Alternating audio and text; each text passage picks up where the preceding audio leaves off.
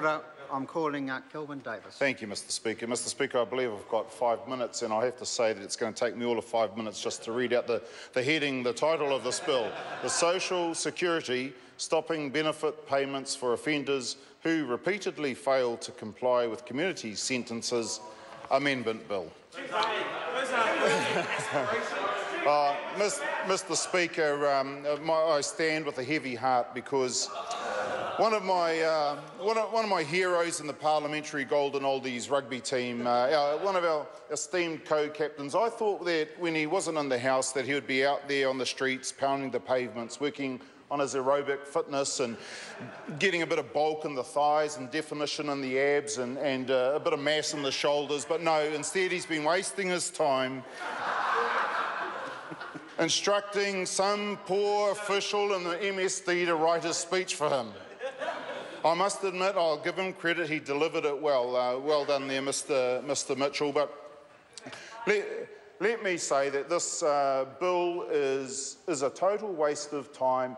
All, all Mr Mitchell's doing is just heaping more and more woes and responsibilities on the poor Department of Corrections. I mean, they're, they're the people that are going to have to administer this. They're the people that are going to have to round up all those uh, people who have been jaywalking and riding bicycles without helmets and riding their cycles on the footpath. Those poor people that go down to the local park on a Saturday while uh, the probation service of corrections watch over them as they rake the sandpit and, and uh, rake leaves and trim trees and all those sorts of things. Those are the people that are going to uh, be affected by this uh, bill, Mr Speaker.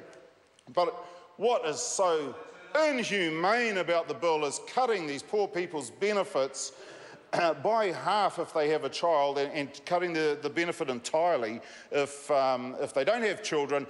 I just wonder why they don't, um, why Mr Mitchell hasn't written into the bill uh, corrections' latest punishment for people who, uh, who don't conform with, uh, with what they're meant to conform to, because uh, corrections, and maybe they've, they've been trialling this uh, on the side, and, and it might be uh, an amendment to the bill later on, but uh, corrections today have been held up because they've been tying prisoners to the beds.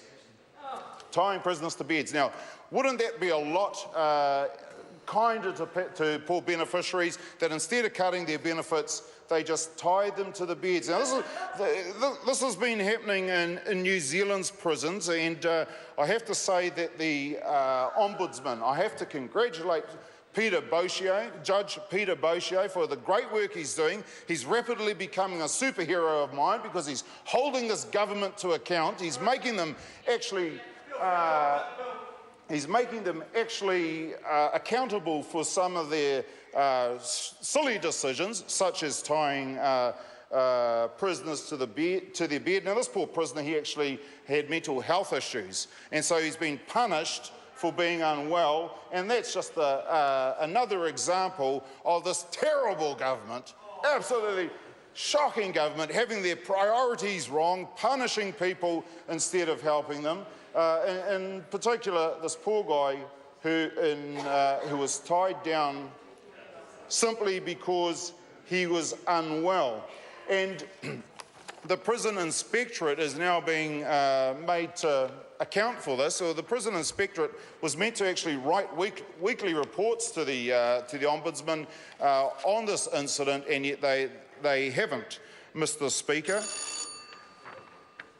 I think the prison inspectorate has got a lot to hide. I asked uh, them if uh, Corrections if I could go and talk to the prison inspectorate last week on a totally unrelated matter and uh, was blocked at every turn. This government has got its priorities wrong when they could be dealing with the housing crisis and making sure people aren't living in the, those mobile apartments, also known as motor vehicles, when they could be putting money into uh, Te Puea Marae and other uh, real issues that are facing New Zealand. We have um, my, my hero, uh, co-captain of the Parliamentary Golden Oldies rugby team, presenting silly bills like this to the House.